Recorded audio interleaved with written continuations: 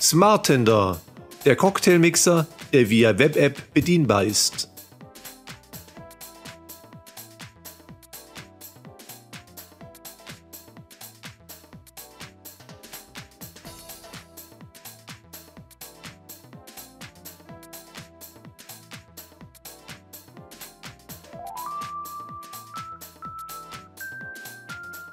Wenn euch das Video gefallen hat, schreibt uns einen Kommentar und abonniert unseren Kanal.